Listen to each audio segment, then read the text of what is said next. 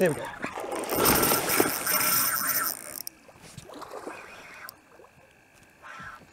Got him.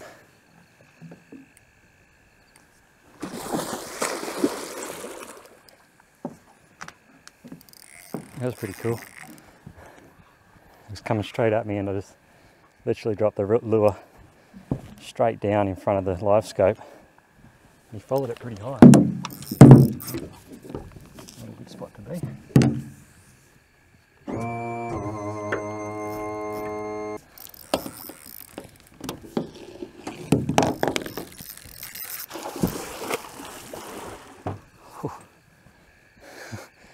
Pretty wild.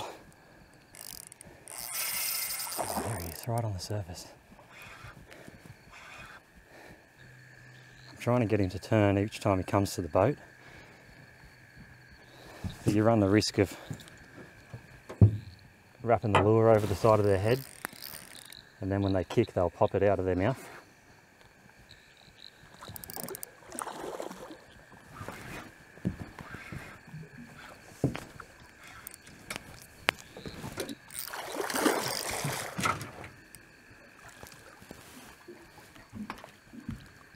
There we go. In the net. oh, not bad.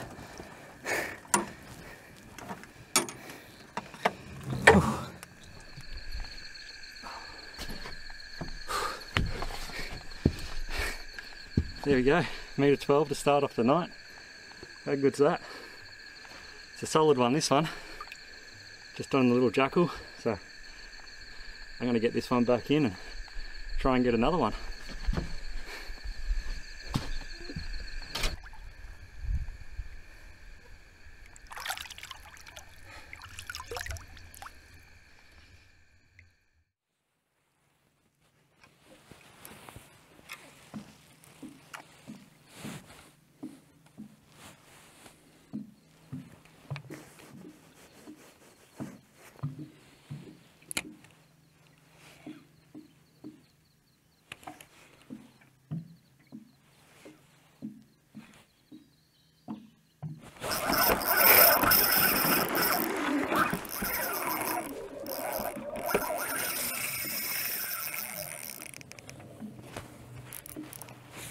Got him, but he's got me around a tree already.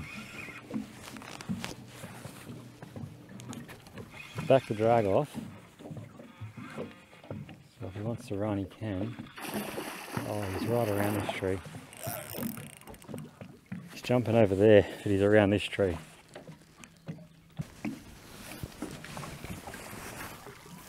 Put him around that tree.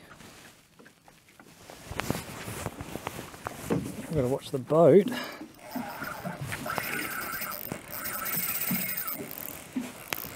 Oh man, he's way over there.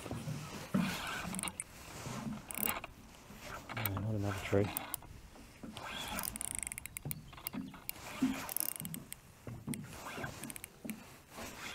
This is where the, don't know if I said it earlier, but I've changed to finer gauge hooks.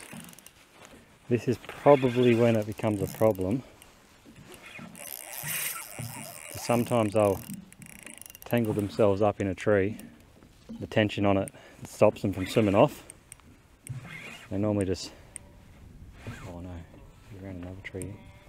A lot of the times they'll just come to the surface and just sit there. Sometimes they'll thrash around and when they do that, that would be a good time to have heavier gear.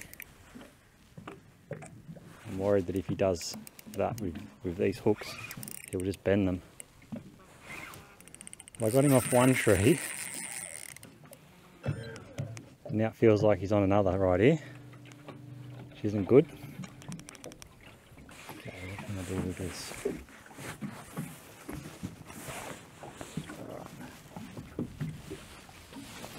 Around that. That would be another tree we're around. Oh man. He's really got me on this one.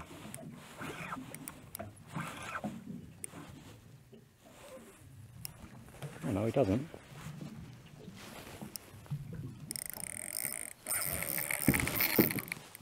Now he's got me in a bit of a spot here. I'm I'm stuck between this tree and this tree. I don't know if I'll be able to get around into this gap. And he's going around this tree. Let's go free spool him. Not much else I can do.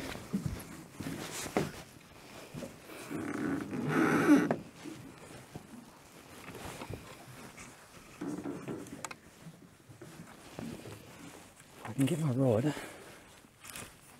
around this tree. Can't tread on that.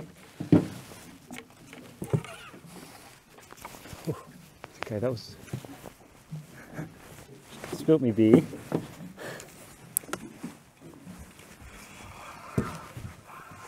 Now he's around this tree.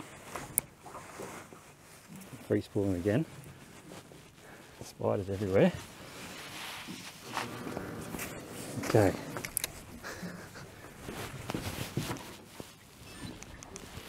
Now maybe we can do something. He's going to go around another tree here, I bet. Oh, the motor's hitting the trees.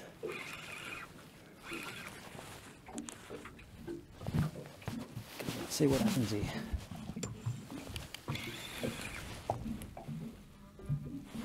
Yep, he's on this tree.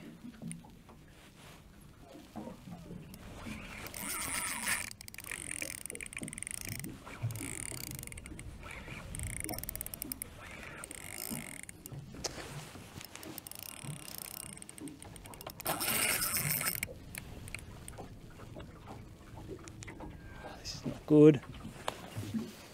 He's got me under a branch underwater here now.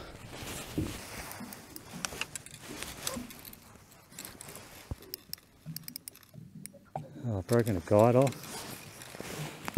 Not good.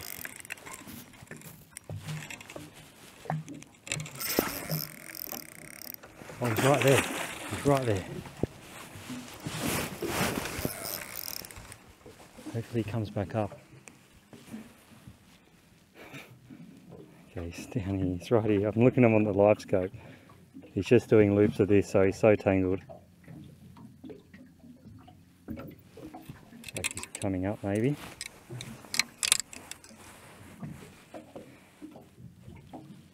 And this is painful. There's nothing I can do.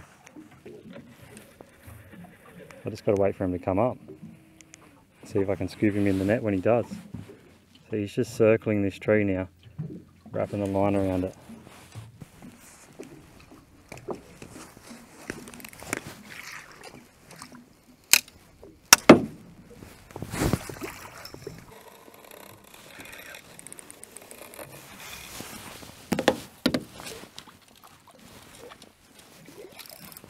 Feel the branch down there.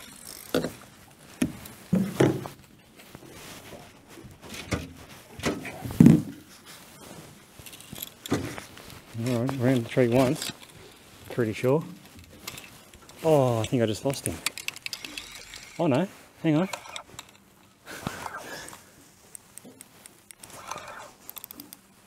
We're off the tree. I want to get away from this tree. He'd gone all the way to the bank. Oh, I hope I don't lose him now.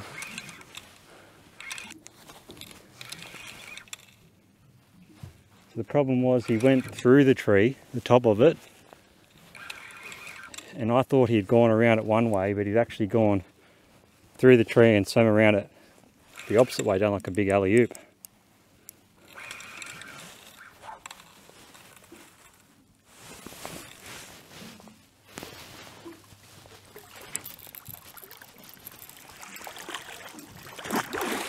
Come on, buddy. Not now, not like this.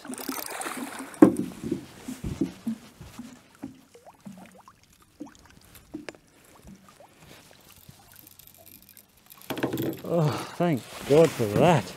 Oh, he's not even that big. Like he might, he might be a meter. Oh yeah, actually he's, he's all right. What a stressful fight! Holy crap! Here it is. Meter number two for the night. Man, what a fight that was. I don't know who's more exhausted, me or the fish. So I'm going to get this one back in the water. I'm to get it back in there right now.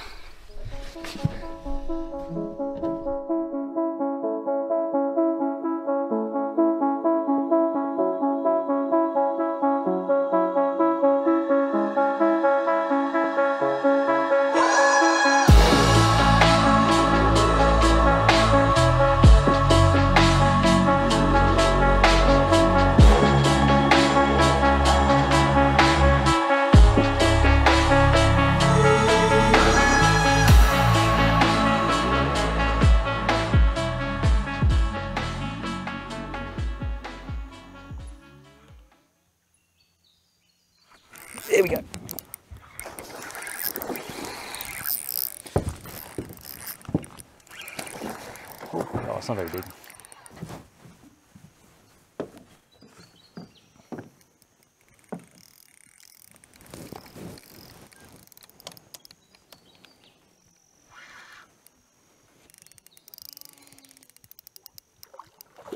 Oh, actually, it's all right.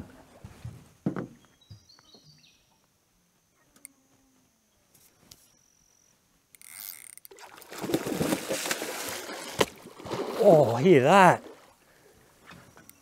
Just chomp the lure. That was very cool.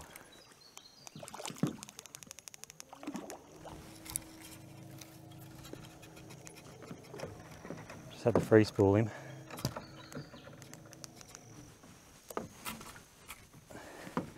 It's always an adventure when I hook up to a fish.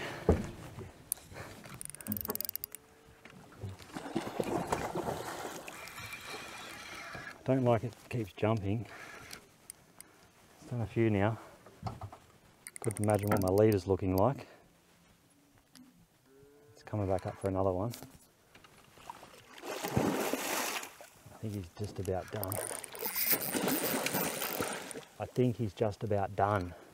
Oh no, I'm tangled on him. Maybe, maybe, maybe I'll get him in real quick.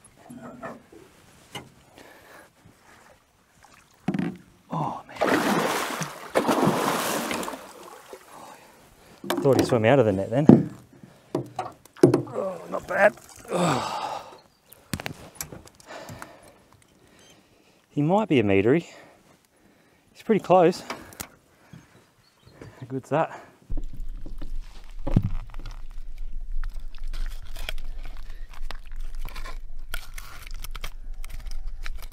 Well, another one, another Mondi Barra.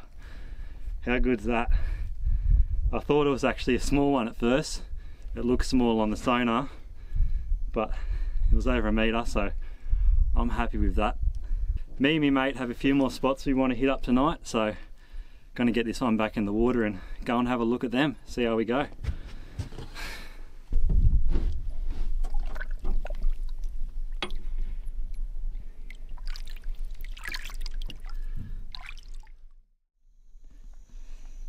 So when chasing big barramundi, what a lot of people like to do and what a lot of people tow to do is run like 80 pound, 100 pound leader. But I find you just lose a bit of action in your lure and you have to use heavier rods with bigger guides just so the leader can fit through it or you've got to use a really short leader.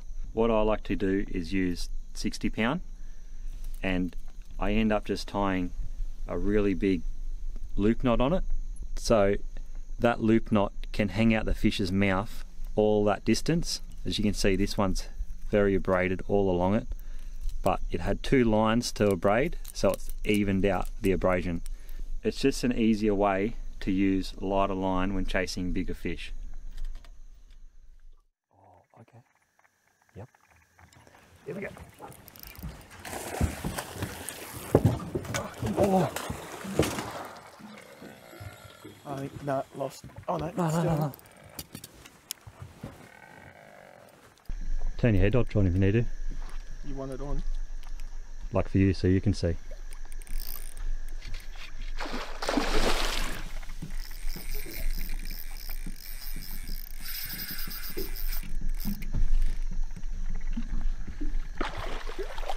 Ooh, decent one. Looks like a decent one. Yeah. It's just chucking a lure out the back of the boat on live scope. Ooh, you should have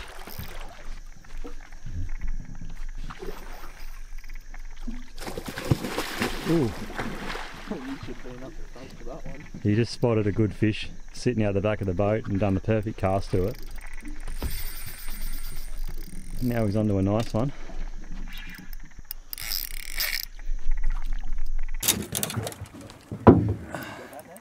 Yeah.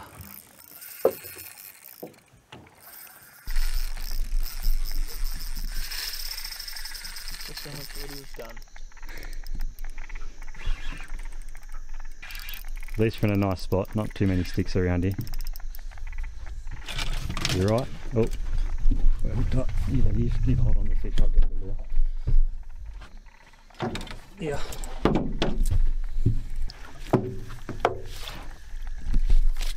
That's a good fish.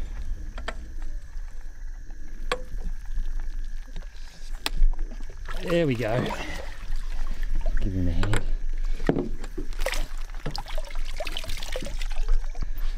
That's a good fish, mate. Fills the net up. That's for sure. That is definitely a good one. What do you reckon? Yep. Mondi Barra at their finest. Alright, let's give you a better look at him. Just spotted this one out of the back of the boat on the live scope. Literally casted back over our head. Couple twitches. Boom. Smashed it. Not bad. Pinch their tail.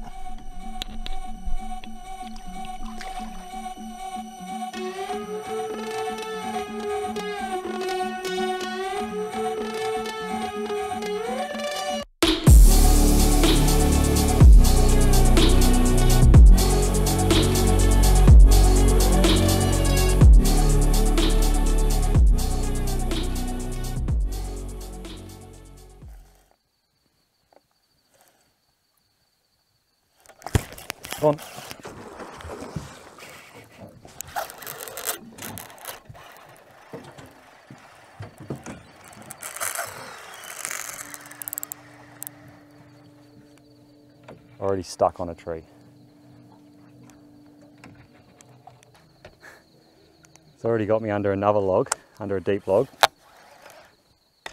Oh, just come off. That's good. That's good. Been having some bad luck with trees. So I'm trying to stay onto this fish as much as I can. I've already backed the drag off, so it's pretty loose drag. Got me around another tree.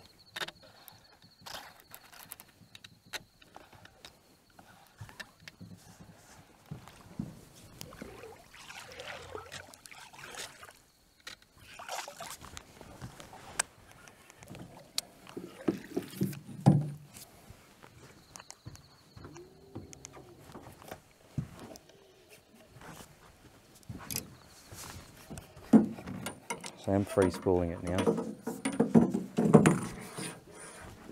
This tree doesn't look too bad. It's just a little bit too deep for the rod tip. Now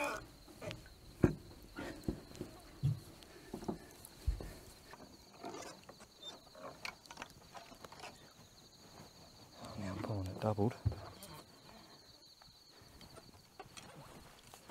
Okay, um, And mine.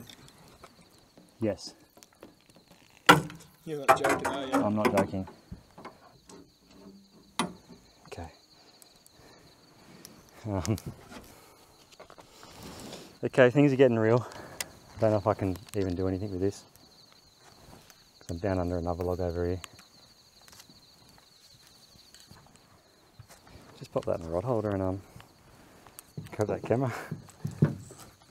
I think he's got me under another log, but I'm hoping I can just pull him back back under it. Might get lucky. There's two possible good outcomes. One, obviously, I just pull him out of here. And two, he's maybe wrapped around the tree and then he comes, since he's tangled, he, he actually comes to the surface and sort of just floats there, which is what they do. But I can feel that, oh, there we go. That's sort of good because I was just starting to feel the snag. I think we're going to have to do a risky manoeuvre here. This is going to be do or die. I'm gonna have to go around this tree, let this all this line out. I'm gonna try and catch the line on the other side of the tree here with the lure pole. And I've got it. Oh no, just lost it. Got it again.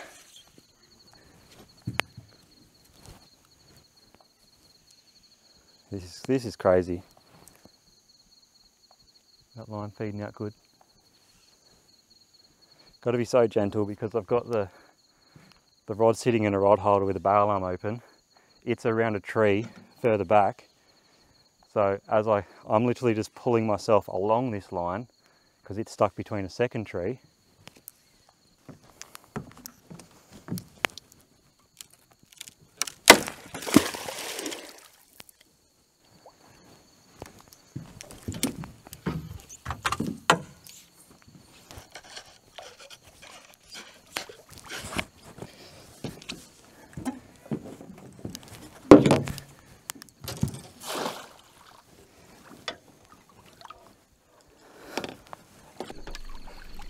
Not the biggest, but that was the most intense fight I've ever had.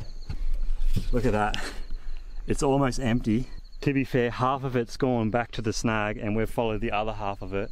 I've just been hand lining it. It's cut through my glove at some spots. Enough talking, I gotta get this fish back in the water because it's probably more exhausted than me. How good's that? Nice meatery, crazy fight.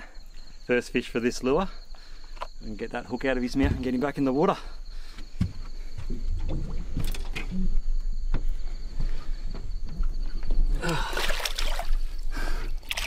Oh, he's ready to go already. He's biting me thumb. Get him going.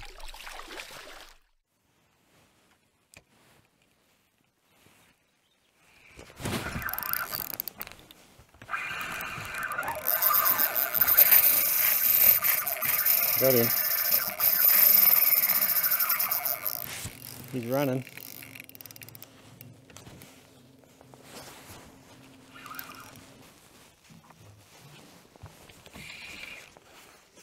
Oh yeah, he's got me under this tree. That's no good.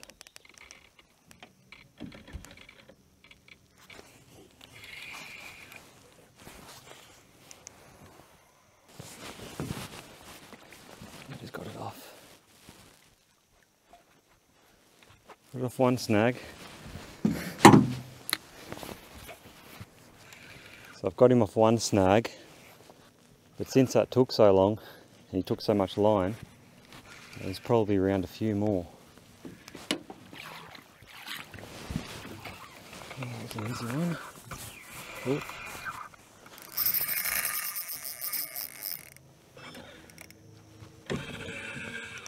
Another tree.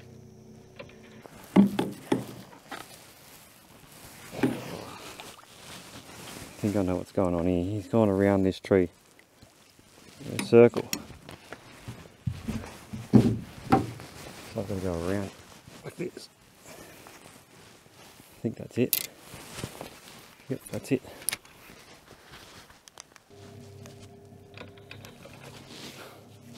He took me in there, went around that tree, and is now heading back out.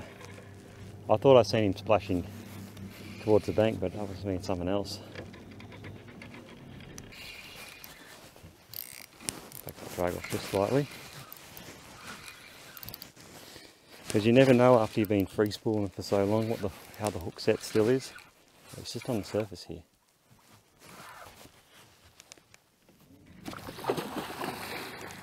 It's not a bad one.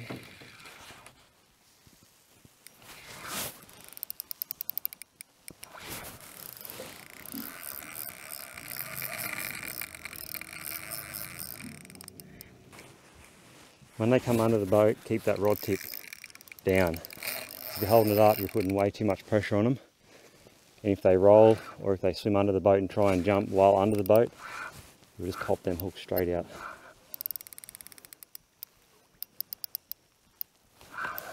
Righty. Righty.